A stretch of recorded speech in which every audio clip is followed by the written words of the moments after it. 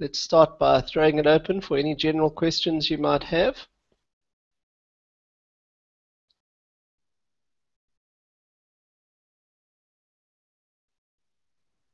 Good. Now that we got that out the way. Stephen, I have something just very general about our portfolio. Um, my portfolio, my translations have changed drastically since the first, since John 1. Um, I have now started paragraphing. Um, so there's, there's quite a, I'll have to go right back to John 1. Um, is there a possibility that I, I don't know if I'm going to get finished with all of this because it, it looks um, like quite a lot of work to go right back and, and um, rethink my whole um, translation. Um, when is the last when we can have our portfolio in? Is it middle February? Uh, I don't know off the top of my head. I did attach a date to the assignment, so whatever it is on the assignment activity is what it is. It's around about the beginning of February. Um, it sounds like you're talking about formatting. I'm not sure to what extent you'd want to go and restyle the translation. I don't think that's really necessary.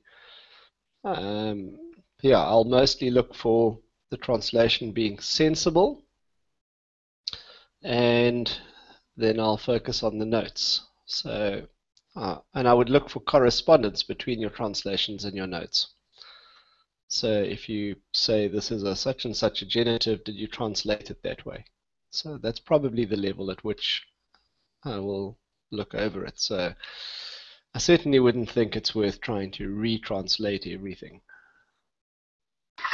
No, it's basically restructuring, I would say, um, more than re retranslating. But what I'm also, I don't know if the rest also have that. I have lots of notes. Um, so to choose which to keep and which to let go um, is, is really difficult for me. I have not done that yet. Um, so maybe someone can just tell me if they struggle with the same. I, uh, like in Colossians, I have nearly 50 notes, and I have to choose from those 15, 20 of the best. Um, so yeah, that's, that's quite interesting.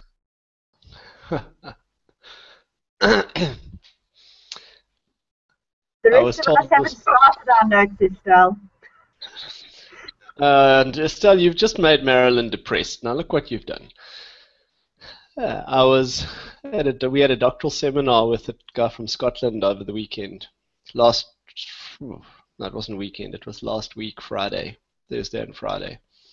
And one of the stories he told was having a student who wrote a thesis that was 200,000 words when it was supposed to be a maximum of 100,000. So the university told him they were not prepared to accept more than 100,000 words. So he, so he said to his, he said to Ian Shaw, who's the, the chap who did the seminar, he wasn't his official study leader, said to him, what must I do? I've got 100 days until I've got to hand this thing in. And Ian's response to him was, you've got to sit at your desk every day for 100 days, and every day you've got to trim a thousand words out of your document. and that's what he did. For a thousand days, he sat and cut a thousand words out of his thesis and eventually passed. Yeah, I don't want to have to sift through 50 notes for each chapter, so the request for approximately 20, make them good, is, is more or less where it should be at. So you're going to have to sift through those and you know, pick 20 that are hopefully meaty. Okay, other questions? In terms of timing, obviously, we're going to take a break now after this, and we'll have one more live session dealing with the last passage in the new year. I can't remember the date, somewhere in the middle of January, I think. So we're nearly at the end as far as this journey is concerned, but we'll take a break over Christmas. I don't think we are going to do anything between the 16th of December and the first week of January, or at least there's nothing expected from the course, no discussions, no meetings, etc. Any other questions? Okay, let me turn off camera and turn on screen share.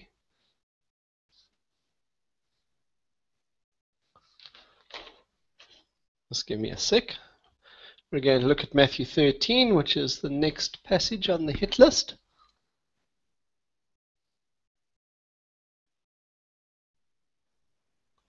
It doesn't look right. Why don't I get an option to share this?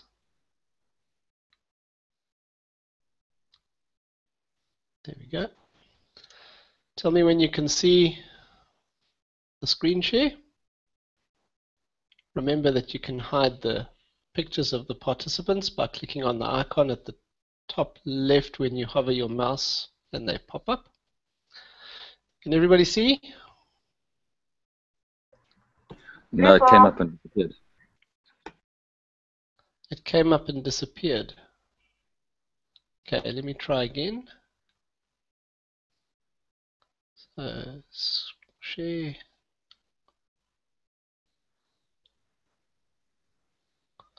All right, should be up. I can still see it. There we go. All right, I'm going to hide the participants at least on my screen. I don't know if it hides it for everybody, but we should still have it there then. Okay, so it's Matthew 13, ostensibly the parable of the sower. And we will try to run through this fairly quickly and cover as much of it as we can this morning. Let's make one last attempt to get Henny.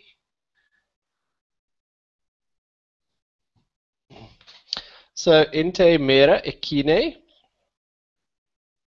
Marilyn, ente he mera, mera ekine. In that day, Exelthon.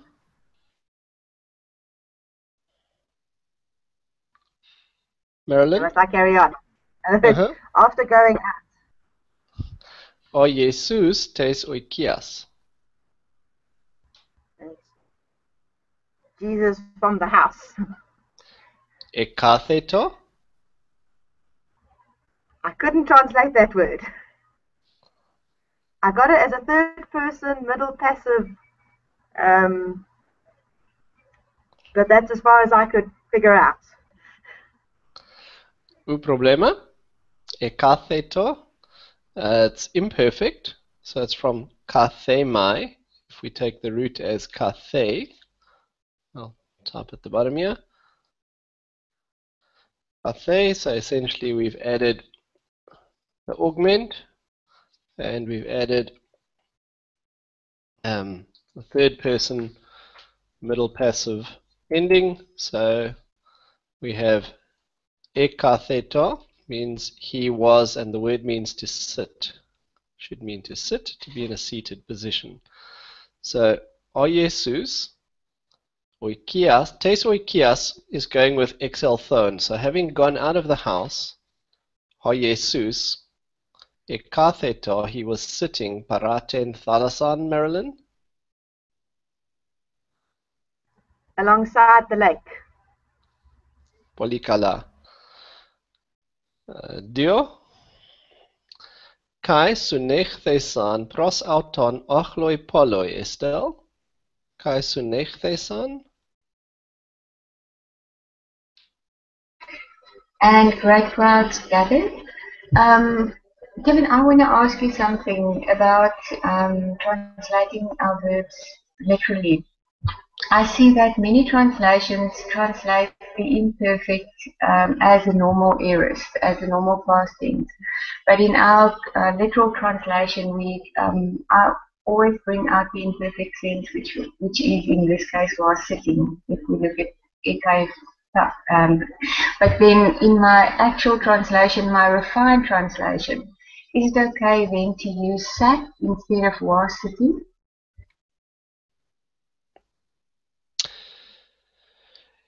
Yeah, frequently, frequently the context almost forces you, for the sake of correct English usage, to translate in a way that doesn't make the underlying Greek form transparent. So it's not always possible to translate literally. Um, for the purpose of this exercise, I wouldn't mind if you translated was sitting or sat. Uh,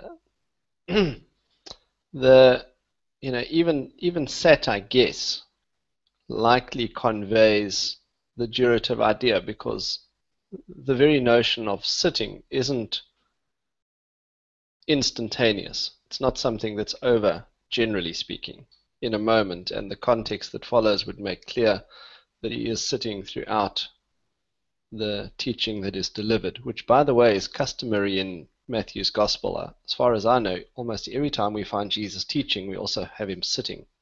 The Sermon on the Mount being another obvious example. So, if you translate, he was sitting beside the sea, uh, that's absolutely fine. Um, but stylistically, if you prefer to translate, he sat by the sea, that's also fine. I think at this stage it's helpful when it doesn't sound weird. It's probably helpful to try to bring out the tense when you can. So probably helpful to translate something like was sitting beside the sea. Okay, sorry, giving something else that I was wondering about is aspect. Um, can we bring aspect in, like when it's present tense, say? I'm not a fan of that, to be honest, because I think it overstates what's present in the Greek text. So I, I don't like, that's a personal thing perhaps, but I don't like translations like keep on asking and you will receive, keep on knocking and the door will be opened, or um, anyone who continues to sin uh, is of the devil, you know, that kind of thing. Some some paraphrastic style translations do it. I'm personally not a great fan of it because I think it overstates the aspect. Um, Thank you. so, so I give you an opinion, not a law. Okay? Never it helps. Thank you. Give it another question for verse 1. Um, just in, in translating it and doing some research on it, um, just in terms of the the article, um, just came across a number of, of the texts, well, a number of the, the verses that we're translating now, where uh, you know someone like Wallace um, says something to the effect of that often the article has a notion of possession that can be inferred on it based on the context, and that in this particular context it could have been translated Jesus went out of his house rather than the house. Oh. What what would you say about that? yeah, I think that that I mean that there's no question that the article does often have some kind of a possessive notion, and uh, your your primary use of an article in English and Greek would be to point to something in context. So unless there's a house that you can identify in the immediate context that he was in, you know, let's say you could identify that he was at the Pharisee's house a few verses beforehand. Then the house would be the house that we've been talking about in the preceding context. If that is not present, you would normally have ho Jesus exalthon tes um, oikias. He went out from a house.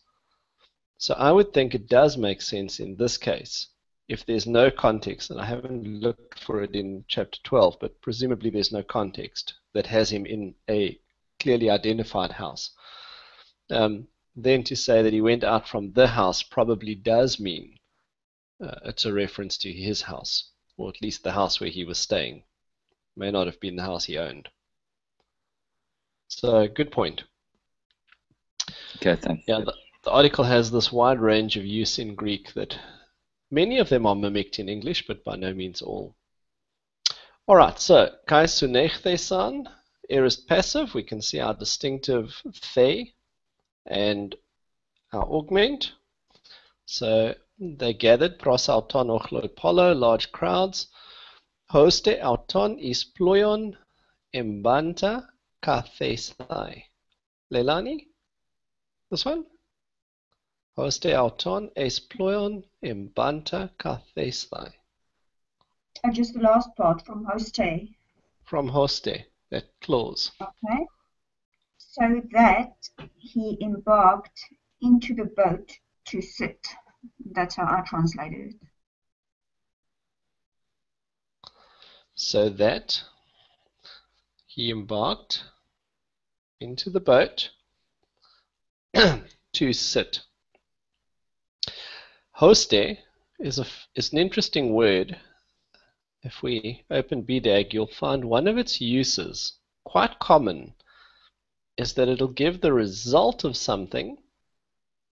So it's, it's introducing a frequently a result clause. Here it is. Followed by the accusative with infinitive. Now remember that sometimes an infinitive functions as if it is a finite verb and it'll have a kind of subject. But if an infinitive has a subject, it's more a logical subject than a grammatical subject. The subject of the infinitive will be in the accusative case. And that's happening here. Hoste gives us a so that, a result. So large crowds gathered around him with the result that he set kathestai. We're going to translate it as an um, well, he was sitting, I suppose we could translate it. Uh, but essentially, kathestai following hoste is functioning as if it was a finite verb in the sentence and it's taking auton as its subject. So hoste auton kathestai with the result that he was sitting is ployon in a boat, embanta from embaino, we can see that it's a participle. There's our participle morpheme. It's an aorist participle. You can see our stem's changed. We've lost the added components there, the root just being ba. So embanta, an aorist participle, it's accusative and it's agreeing with auton. So it's with the result that he, having embarked into a boat, was sitting. More natural English, probably, yeah, so that he got into a boat and sat down. But the way the grammar is constructed is a tad unusual. Does that make sense? Can I move on?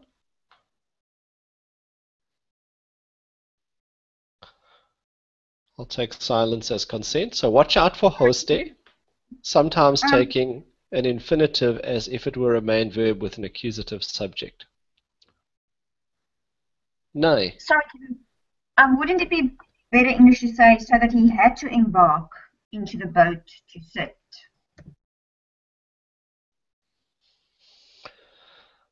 Uh,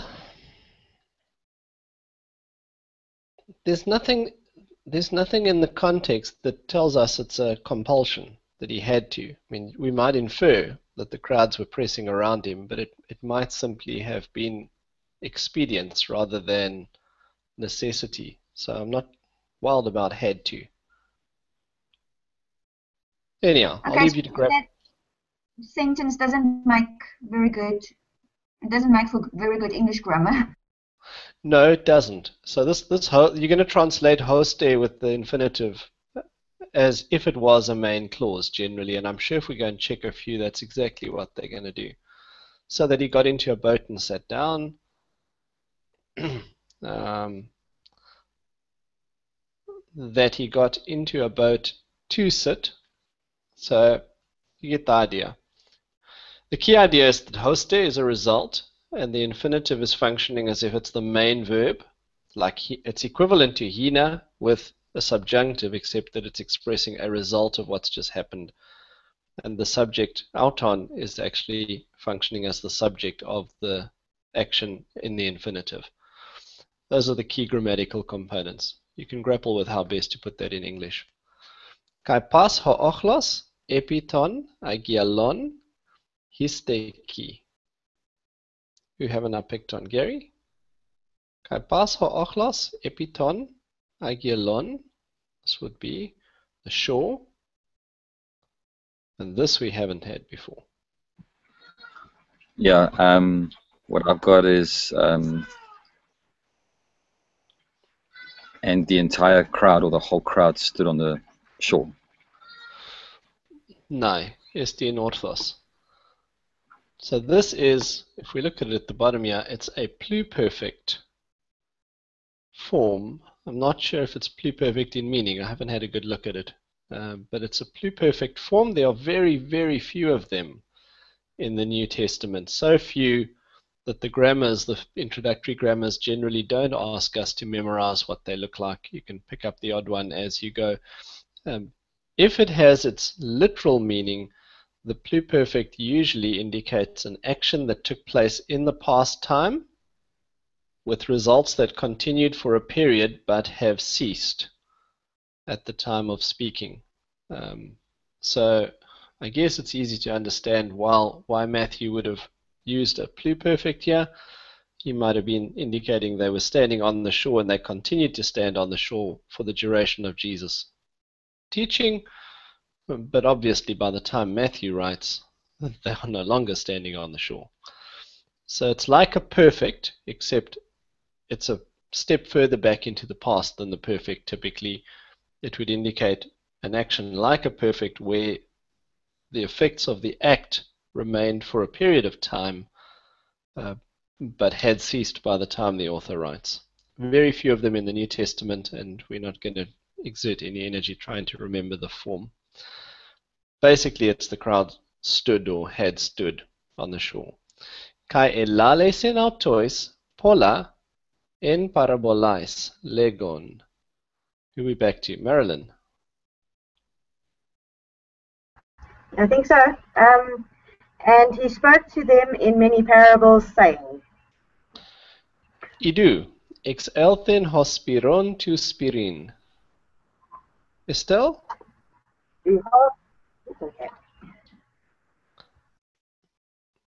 Kevin, uh, this participle here, um, I have translated as the one sowing um, to, to bring out, um, but better English is sower went out to sow. Uh, that's right. Typically, quite often the present participle, when it's used in this way, you know, the uh, holegon, the speaker, uh, holegontes, the speakers. Frequently, we translate it when it when it defines what somebody does, especially something they do as a vocation. It would be quite common to translate it using that kind of expression in English, like the sower, the farmer, you know, whereas in Greek it might literally be the one who sows, the one who farms, the one who speaks, etc. Either is fine. So the one who sows went out to sow. It's not wrong, obviously, because we have such a rich tradition. So you assume the major translations had some reason. It's not wrong to translate it the sower, conveying the idea that sowing is something he does repeatedly, regularly, as part of his vocation, presumably as a farmer. But it's fine to translate it as the one who sows. Idu ex elthen or spirone to spirine. Comment on this?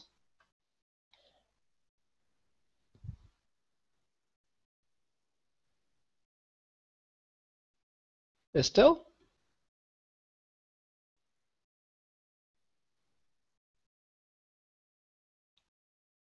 Everybody still there? No? Can everybody? Can anybody hear Estelle? I can't hear Estelle. No, I can't. All right. I'm yeah, just I gonna can't carry- hear. I'm just going to carry on. I mean, in a sense, if you read the sentence, the, the article to is irrelevant here because the infinitive spirin, or spirein if you prefer, would convey the idea to sow. Idu ex elthen or spiron spirin, the sower to sow. So the article to with the genitive singular article used with the infinitive doesn't really change anything. It still remains an infinitive of purpose. So the sower went out to sow. Kai entospirin auton hamen epesen paratenodon. Leilani? Um, I translated, and while sowing, um, some indeed fell. Um, until where do I have to translate? Up to Hodon. Okay. Sorry, I lost my place here. I'm just trying to get it. O problema? I'm sorry. Um, and while sowing, some indeed fell beside the road. Polikala. The just wanted to draw attention to ento with the infinitive, often translated as a contemporaneous action. So while sowing, which is how you've rendered it, uh, it's probably literally in the act of sowing. You know, and in the act of sowing, which does convey the same sense of while sowing. Uh, notice again, auton, which is accusative, is functioning as if it were the subject of the infinitive. So it's literally while he was sowing.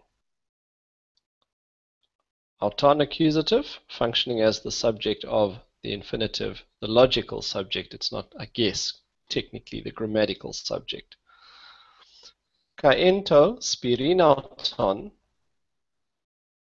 subject. Kaento spirinauton hamen epesen paraten hodon some fell beside the road. Kai exelfonta tai tapetina kat efa genauta geri.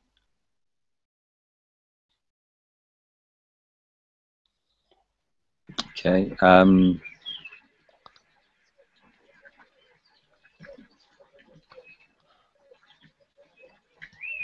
sorry, just give me a second to find it.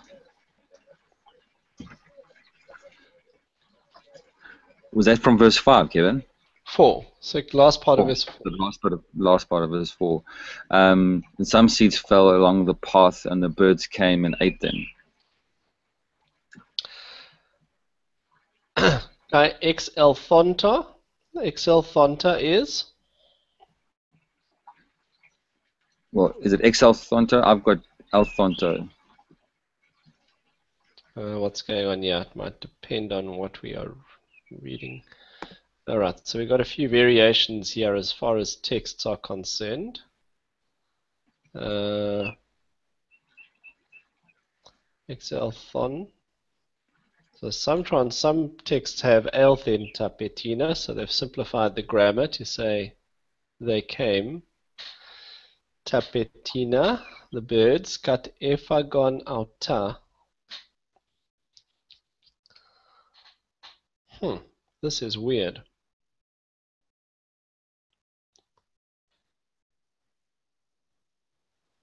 Oh, it's nominative. No, then it's not weird. All right. Why would it be nominative?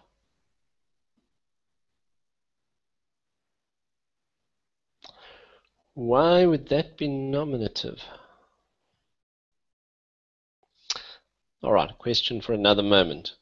So it is nominative, be that as it may, in which case because it makes it birds, because it's the same. It's the same case as birds. Yes, no, I've got I've got that it should be nominative, but I was looking at it and thinking it was accusative. I thought I thought the the ta would not be present. Uh, Luon, Luon. I mean, if we go Luon, Luon, Elthon, Elthon. So I'm not not used to the nominative singular participle having a a tau al alpha. That's normally characteristic of the accusative. Uh, good question. Plural birds.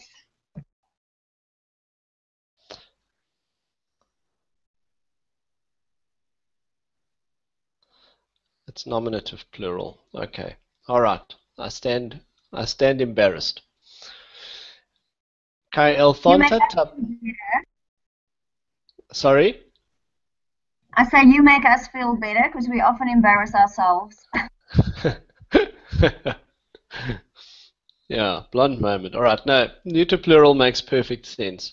Neuter plural nominative makes perfect sense. So, and the birds having come, cut efagenauta, ate them or devoured them. This um, estheo means to eat. Kat estheo, with the prepositioning compound, is a stronger form of it, normally in the sense of to devour.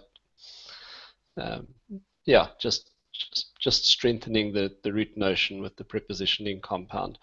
Very common, the participle, especially the aorist participle, with a main verb in the aorist tense. When you're narrating, it's often just correct, correct to translate these as two main verbs in step. So the birds came and devoured them. This being what Wallace calls a participle of attendant circumstance. Um, you can see, you know, the birds having come devoured them also makes sense, but in English it tends to just be the way one would translate this. They came and devoured them. Allah? What's Allah? Sorry, Kieran, just a, just a quick question there. Um, in terms of of translating it devoured as opposed to ate, um, you know, I, I know that another another way to translate it would be consumed, but why would you why would the the weight be on you know the, the eating or the the devouring as opposed to just ate them? I don't know if I'm making sense. Uh, just having a quick squiz at the range of suggested glosses in BDAG. Consumes is probably better. Uh, the you know if you were looking at a lion devouring a carcass, again probably has the connotation of a violent, ravenous consumption, hence the idea of devour. In our case, the notion is probably you know, why did he use the stronger word? Well, probably to convey the idea that they consumed all of the seed. So it wasn't just they ate some of them. So, so the strength here is probably they, you know, they ate everything that fell on the, on the path, so nothing grew. Um, you don't picture birds really devouring, except maybe vultures, with a sort of ravenous, uh, aggressive, violent style of eating which could be the connotation. It's probably simply the idea that they ate up or consumed all the seed that fell on the road. No, great, thanks. What's interesting is a lot of a lot of the translations seem to um, use the word devour, which I, I, didn't kind of feel fitted based on what you've uh, you know agreed with what you've just said. Yeah, looking at this list of glosses, I would probably go with consumed. Alright, Allah. Allah de epesen, epita petrode, uk ichen gain. Who are we up to? Is it Estelle again?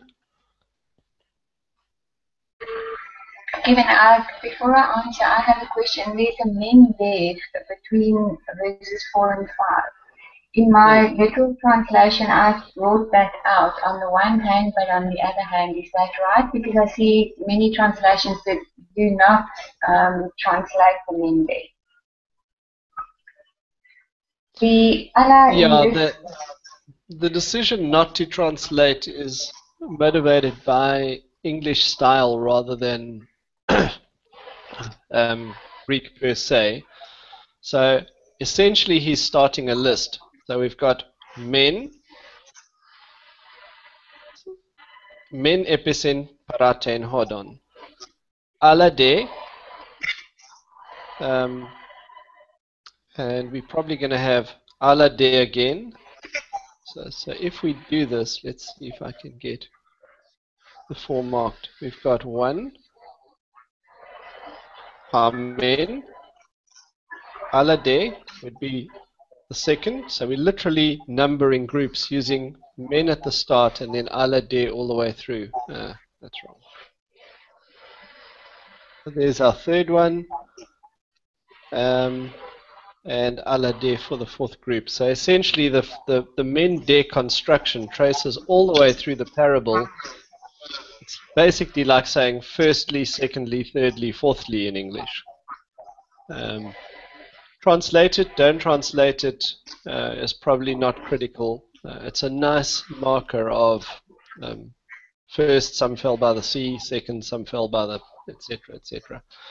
The on the one hand, on the other hand, on the other hand, on the other hand kind of translation for a fourfold repetition is going to make for quite clumsy English. It's going to feel awkward to have on the one hand some fell on the road, on the other hand some fell in the rocky places, and on the other hand um, some fell amongst the weeds, and on the other hand some fell on good ground. You know, you you've got four words in Greek that are translated by four whole phrases in English, so it, it tends to make for clumsy reading. That's why it's left untranslated in most modern The farmer translations. has too many hands. Marilyn? The farmer has too many hands. You can only do Yeah. it on one hand and on the other hand in English if you've got two hands. You are right. So English, on the one hand, on the other hand, does tend to be used to establish a contrast between two items, um, and four doesn't really fit as well. This is a list of four cases. You know. uh, however you want to bring that out or not bring it out is up to you. But recognize in the Greek text the men de construction traces through the four points. I would find a fourfold repetition of on the one hand followed by three on the other hands um, to be rather strange in English, personally. Yes, it does. But I, I, I always, when I translate now, I always battle between saying true to the text and what makes sense in English and, and what would be acceptable um, when we translate. Because it's difficult for me just to leave something out or untranslated. Um, because then I think that, okay, well, you're not saying true to the text. But thanks for that explanation. It makes sense. I Given this I- this would make this would make a good inclusion amongst your 50 notes when it comes to this passage. You know, to mention the protracted men de construction that provides a, a kind of numbering system for the points of the parable, but is hard to translate literally into English. Uh, Thank you. I have translated this as, on the other hand, other seeds fell on stony ground. Polikala. So Allah clearly referring to um, where's seed? Do we not have Seed seed is mentioned? missing. No, Seed seed is- is missing. Seed is missing. Seed is indeed missing. So it's inferred from ha spiron to spirin. So he went out to sow. We infer obviously that it's seed and ha as well as Allah, which refers back to ah. So some other other other all presupposes that you've filled in seed. How interesting is that? Okay. Uh, Allah. verse 6 as well because it has the neuter article in verse or and in verse 5. So it seems to be yeah, a lot of missing seed. Because I picked that up and it confused the daylights out of me to start off with. Well, I guess it does make sense that what was sown was seed. but yeah, okay, interesting. So it's not explicit in the text. Allah de episen epita petrode, um, but other seeds fell on the stony ground, hapuuk ichen ten gain, where not it had um, was having was you see had is one of those verbs that you really can't translate what was having. It just doesn't make good English sense either. So we do typically translate both the imperfect and the aorist of echo as had. Much ground. Kai eutheos ex anetilen diatome echin bathosges. Is it Gary? Into verse 5 or is it Marilyn? Whom I, I don't know who I'm supposed to be asking. Leilani, let's Yeah, ask you. I, oh, okay. Kai theos Um, ex anetilen diatomei echin bathos case. And immediately it sprang up because it didn't have deep soil. Polikala. this is literally a genitive, depth of ground, but deep soil would be fine. Heliude anatilantos ekalmatiste kai diatome echin rizan exeranthe. Okay, Gary, I we're up to you. Okay. Um, I translated it, but when the sun came up, the plants were scorched and they withered because they had no root.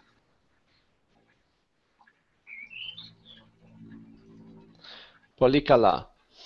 Heliude anatilantos. What is this construction called? Anybody?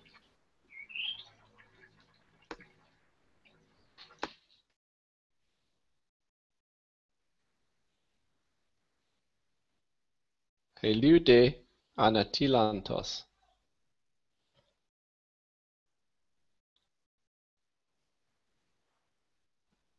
Is it a genitive absolute? Polikala. Estin. Estin, a genitive absolute. Notice that this whole phrase is ungrammatical.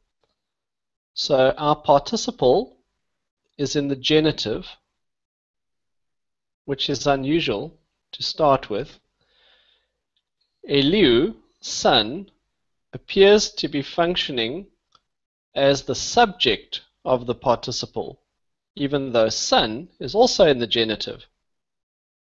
So even in your intuitive translation, when the sun came up, or when the sun arose, um, we instinctively are translating Heliu as the subject of Anatilantos, but in reality both Heliu and Anatilantos are genitives, and the participle is functioning as if it were a self-standing verb, separated from the rest, and it's giving context. Normally the genitive absolutes are temporal, so when something happened, which is exactly what it is here. Eliu de anatilantos, when the sun came up, but it's peripheral, separated grammatically from the rest of the sentence, and in fact you could delete when the sun came up, uh, and the rest of the verb, at least sentence, at least grammatically would make sense, but there's something contextual that's added. Okay, so well done. Genitive absolute. and uh, the grammatical parts don't function quite like you expect them to in normal grammar. Ekalmatiste, uh, it was scorched kai diatome echin rizan, and because of not having root, exeranthe, it was withered. Same word that is used to describe the man who had the withered hand, if it's of any interest. Both of these are passive, aorist passives. Sorry, Uh, can I just I'll- ask, what is it. the, the the root of those two words? Because I was struggling to find them. I had an idea what they meant, but I couldn't find them. these two. The um, yeah, scorched and withered. All right, scorched. Typically, our ezo verbs end in delta, so that I would guess, just looking at it, odds are the root of kalmatizo is kalmatid in all probability. and then typically when we add aorist passive tense formatives, this thing, uh, this delta goes to sigma. I think that is discussed in Mounce. So pretty sure it's kalmatid for that one. For x, eraino, the root, well, at least the aorist, the present tense stem, appears to be xerain. Now, probably, probably, we can try and confirm this, but probably the root is xera. If I do it by analogy, we are used to baino, where the root is ba, and it's modified by the addition of iota nu in the present tense stem. In fact, we had it earlier. Uh, if we go back to embanta, that's obviously n that's been changed for euphony. Um, so baino, but if we look at all the aorist forms, we'll find the stem has gone to ba. So my best guess here, I haven't looked it up, so you're getting me on the fly. My best guess is that our stem is xera. And let's see if that fits with what we have in BDAG.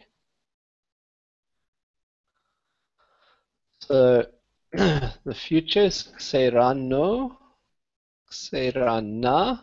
No. All right. So clearly I'm wrong. Clearly the root the root would be come on. Like the root would be xeran with the nu kept. The iota, as is frequently the case, has been added.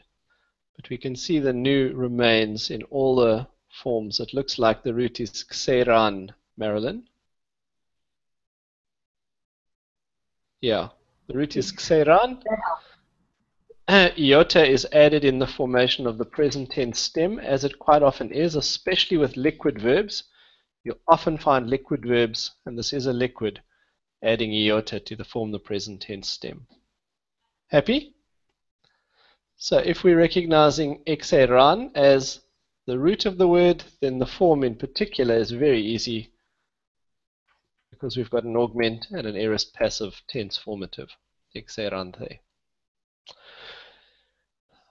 Hepta, ala de epesen epitas acanthas, kai anebesan, hai acanthai, kai epnixan, auta. I don't know who's next on my hit list. So, is it Gary? No, you did the last one. Might be back to Marilyn. These, these sentences, I had lots of words I couldn't find.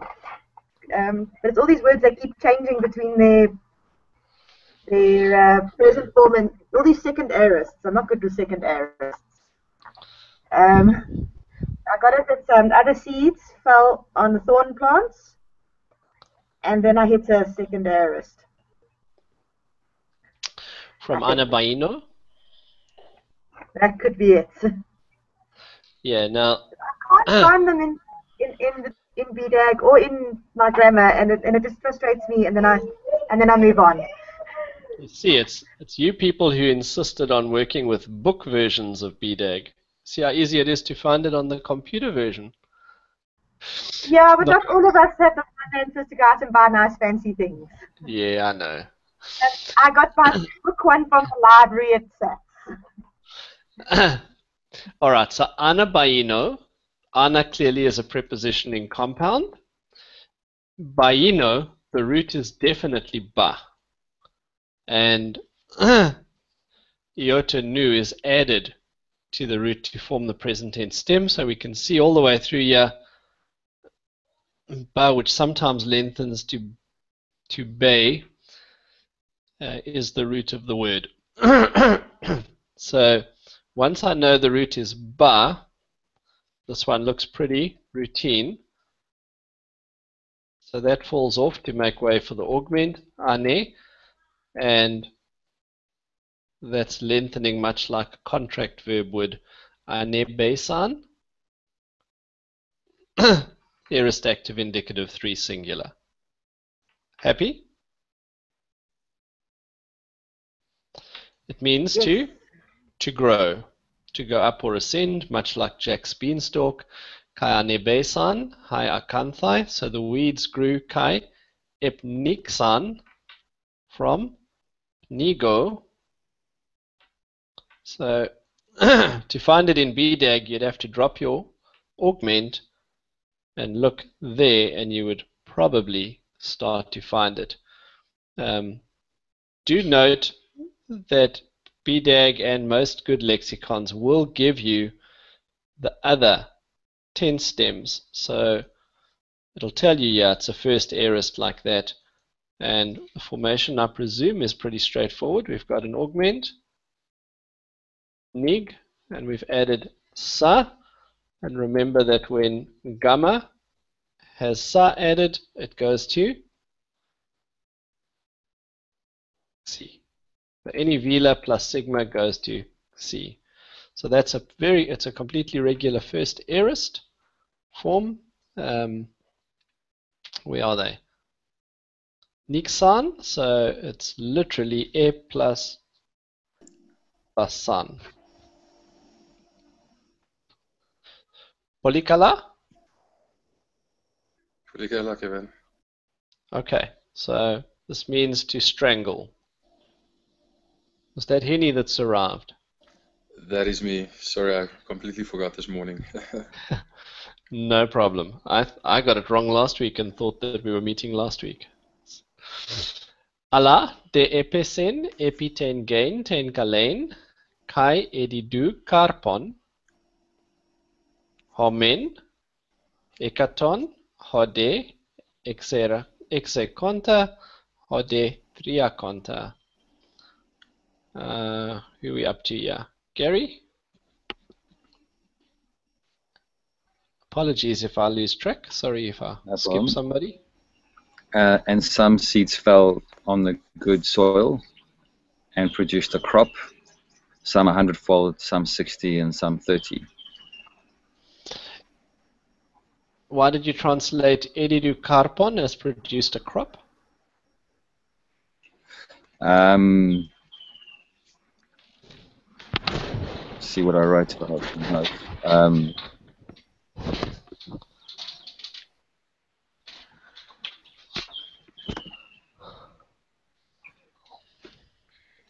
just see.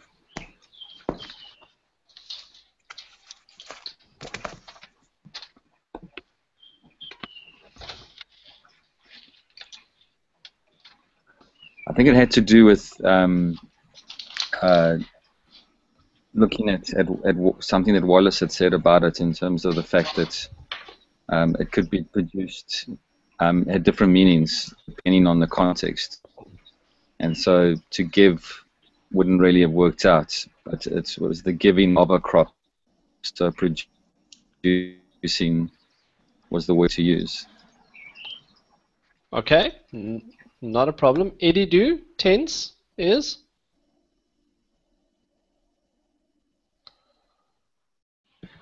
Um, it is um, uh, imperfect.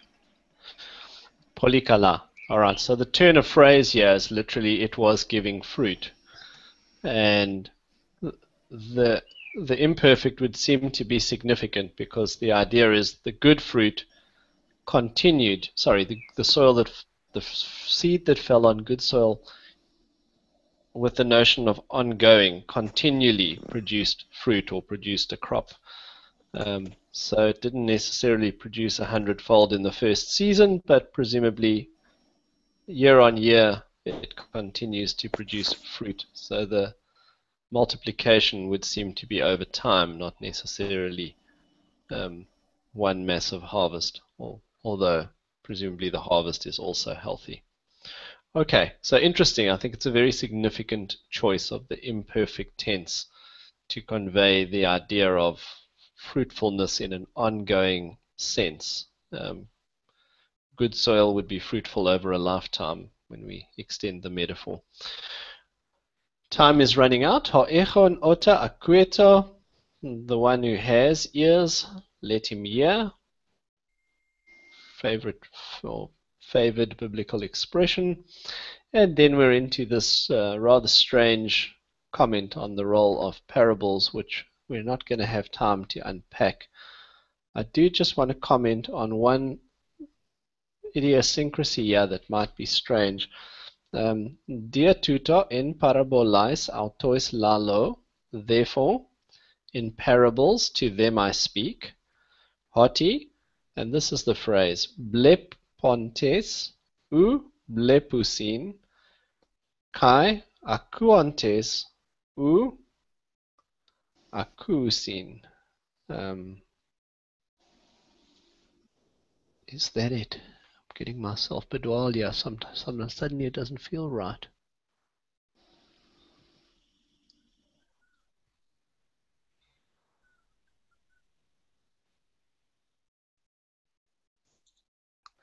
No, I've got myself bedwell. Okay, ignore me.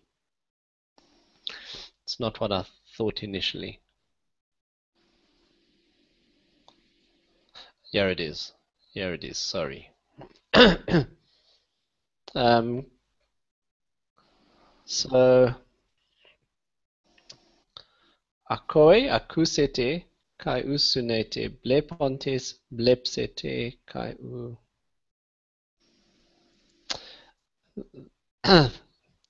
this duplicate of blepontes is very weird. It's literally seeing you may see. And it's likely that it comes from a Hebrew expression that has been translated this way into Greek and borrowed here. Um, and the Hebrew expression would have made the first word emphatic, so it's that you may indeed see and not understand. So it doesn't really work to translate it and seeing you may see or you will see. Um, so the the double blepontes blepsete seems to be to convey the idea of seeing indeed. So the the duplicate is emphatic. It's a it's a Hebrew expression from a Hebrew word that, or Hebrew grammatical form called an infinitive absolute, which is typically used to put bold and italics around the sister word. So, um, yeah, just be aware that there's this weird, weird turn of phrase here that doesn't make sense when you look at it in Greek. Okay, I think we're out of time for this morning. So, any final questions or comments?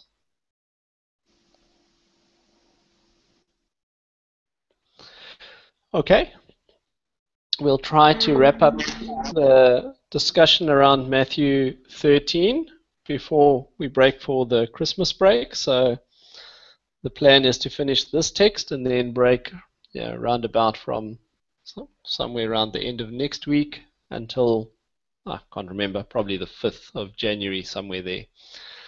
Uh, and then we've got one passage to do in January and then finalizing your your main assignment portfolio. So that's kind of the plan with nothing scheduled from about the 16th or 17th of December through to the 5th of January roundabout. Good. I think you've got Thanks everyone. January. Pardon? I think you've got the discussion four for this one opening on the 4th of January. Really? Yes, that's right. Oh, okay. That's a Monday, But- I think. As I- I've taken notes of that. Okay. Okay, that's that's fine. I would have probably been eyeballing Christmas approaching and thinking that we didn't want to have this going on into that. So are you happy with that? Shall we shall we carry this discussion over into the early new year? Yeah. Yes, that's Yes, yes, that would help. All right, fantastic. Great, everyone. Thanks for all your hard work. I think you're doing a great job on these, and um, it looks like it looks like all the hard work is paying off. You're working with real Greek texts, not all of them that easy, and being able to make sense of them. So, commendations on your effort to this point, which I, I hope you, you can see is starting to bear the desired fruit. We won't then have any further interactions until the early new year. So I want to wish you all a blessed Christmas. Trust it'll be a Christ centered and Christ filled celebration. To those tasked with preaching over the Christmas period, uh, pray for a, a fruitful Christmas for your churches as well. Uh, so have a good a good break, a good holiday, a blessed Christmas, and we'll chat again in the new year as a group. thanks to all of you Thanks. too. Kevin, Kevin. same one. Kevin, can you please just send us the links to our live classes, the, um, the last uh, bunch of last classes concerning translations? I can't seem to find them. If you go onto YouTube and you search for me under Kevin Gary Smith, you'll find all my videos. They should be there. So my YouTube account is is in the name Kevin Gary Smith. Um, I did that and I find all sorts of other Kevin Gary Smith. Hold on. So I have it. It is, I'll try and paste it into a chat window. You might have to drop the S. So from HTTPS, I'm not sure, but essentially that's my user account on YouTube. So you should find all the, the videos under that user account.